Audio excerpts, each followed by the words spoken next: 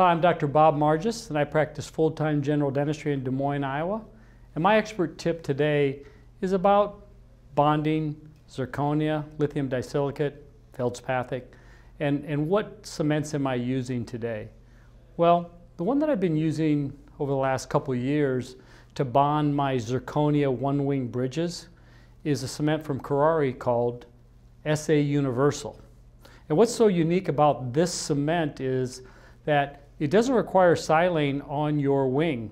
The silane is uh, built into the uh, syringe. One side of the dual barrel syringe has silane, long chain silane, and the other barrel has MDP in it, which is a holy grail really for adhesion to zirconia.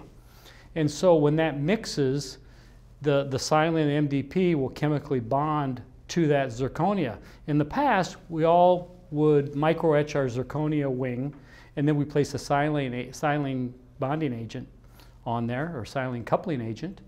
And now with this SA Universal, we don't need to use silane. So you're bonding directly to the material. You're not bonding to the silanated material. So my protocol would be I would prepare the tooth, I would etch the tooth, and then I would use a universal adhesive, and Kuraray makes one called Quick, that you don't have to uh, let it be on the tooth for 15, 20 seconds.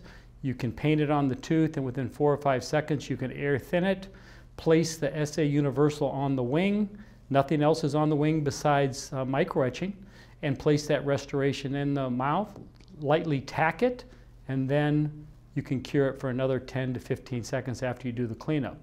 Now, if I was bonding veneers, I can use now their light cured resin cement, Panavia light cured cement, which is new to them. And, and, that's usually for thin restorations where I can get the light where I don't need a dual cure activator. So you could use those for either zirconia veneers, lithium disilicate, or feldspathic veneers. So my tip today is how I bond restorations.